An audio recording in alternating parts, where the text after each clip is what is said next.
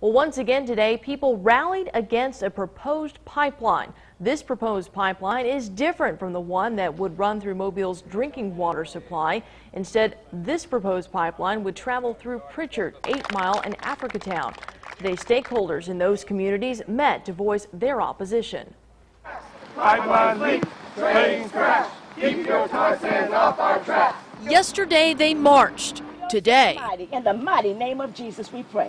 They prayed for divine intervention. In Jesus' name, we pray. Amen. Amen. The Mobile Environmental Justice Action Coalition wants to stop another proposed pipeline project dead in its tracks. Um, these corporations don't care about us. They never have, they never will. Plains Mobile Pipeline Inc. has asked the Alabama Public Service Commission for right of way to build a crude oil pipeline that would travel through Mobile County.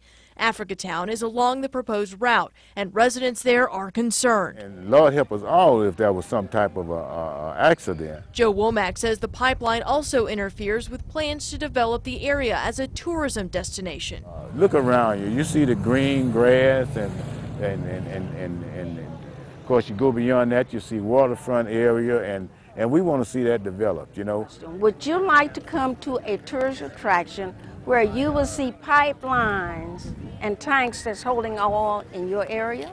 Today's rally both informed and energized the opposition movement. and we have to choose whether we're going to get run over by this concentration of activities that are suddenly uh, erupting here, or we're going to stand up to it. That's that's the choice.